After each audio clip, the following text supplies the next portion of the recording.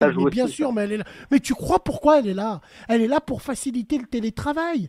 Oh, j'ai un frère, il a un kebab. Il me dit, Bassem, Wallah, il manque un euro, ils me font des CB. Le frère, quand tu le payes en liquide, il est content, il n'y a plus de liquide.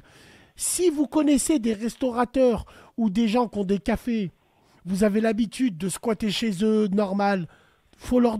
Rappelez-vous quand ils vous ont fait crédit, d'autres, faut leur tendre la main, payez en liquide. Payez pas en CB dans les restos. Wallah.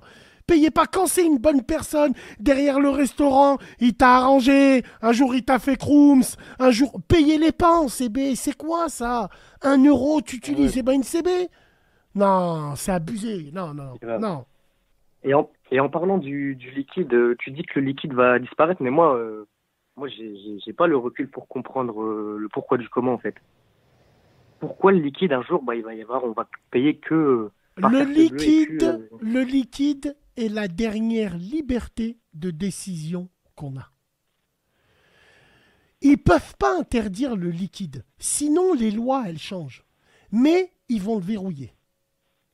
Comment ils vont Hmm. le verrouiller?